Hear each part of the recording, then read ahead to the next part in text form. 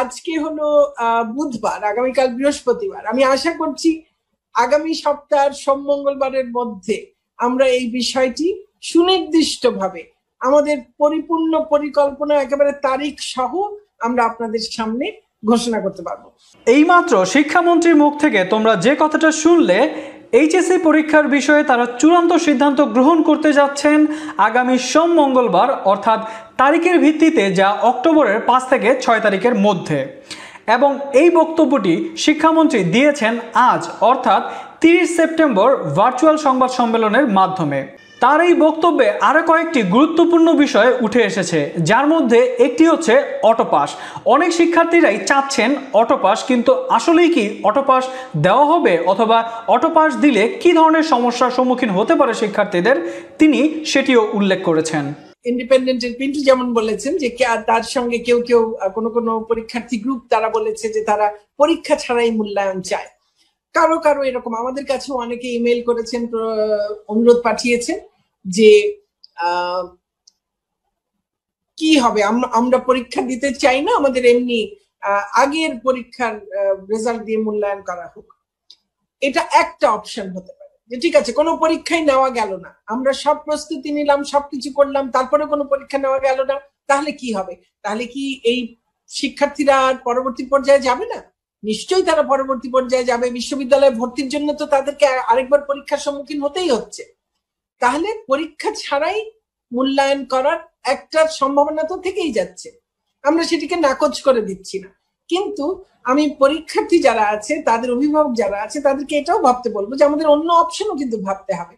যেন দু বছর পরে গিয়ে, তিন বছর পরে গিয়ে যেন কোনো শিক্ষার্থী কোনো চাকরির জায়গায় গিয়ে কেউ যেন তাকে না বলে, ও আচ্ছা তুমি টোয়েন্টি টোয়েন্টির ব্যাচ তুমি তো পরীক্ষা দিয়ে পাশ করনি।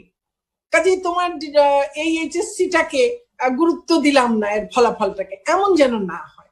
শিক্ষামন্ত্রীর কথা থেকে আরও একটি বিষয় উঠে আসে পরীক্ষা হওয়ার অন্তত চার সপ্তাহ, অর্থাৎ এক মাস পূর্বে শিক্ষার্থীদের এইচএসসি পরীক্ষার রুটিন প্রকাশ করা হবে। আর এর কারণ হিসাবে তিনি উল্লেখ করেন, ছয় মাস শিক্ষার্থীরা লেখাপড়ার বাইরে ছিল, তাদের প্রিপারেশনকে গুছিয়ে নেওয়ার জন্য অন্তত এক মাস তাদেরকে সময় দেওয়া হবে। যে আমরাও একসময় পরীক্ষার্থী ছিলাম, আমাদেরও সন্তান সন্ততি আছে। আমরা কিন্তু কোনোভাবেই চাই না যে আমাদের পরীক্ষার্থীরা যারা দীর্ঘদিন, প্রায় ছ মাস যারা পড়াশোনার থেকে অনেকেই হয়তো একটু দূরে সরে গেছেন, অনেকেই তেমন ভাবে আর নিয়মিত ভাবে পড়াশোনা করতে পারছেন না, এটা খুব স্বাভাবিক। ছ মাস ধরে তো একটা পরীক্ষার জন্য পরীক্ষা কবে হবে কবে হবে করে এই প্রস্তুতি নিয়ে রাখা যায় না, ধৈর্য ধরে রাখা যায় না। কাজেই আমি বারবার বলেছি, অন্তত পনেরো দিন সময় দেব।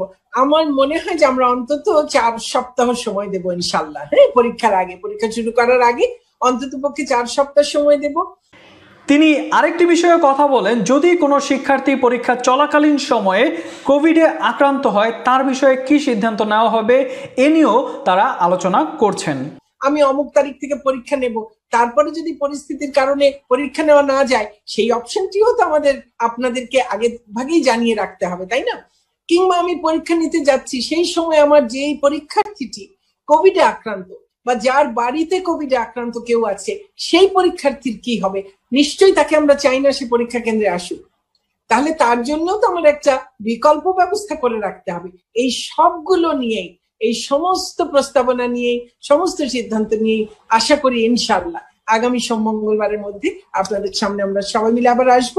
প্রিয় এইচএসসি পরীক্ষার্থী ভাই ও বোনেরা, তোমাদের এইচএসসি পরীক্ষা নিয়ে সুনির্দিষ্ট একটি তারিখ ঘোষণার খুব শীঘ্রই করা হবে। শিক্ষামন্ত্রীর কথা থেকে এতটুকু স্পষ্ট, যেটা খুবই প্রয়োজন ছিল তোমাদেরকে প্রিপারেশনকে গুছিয়ে নেওয়ার জন্য।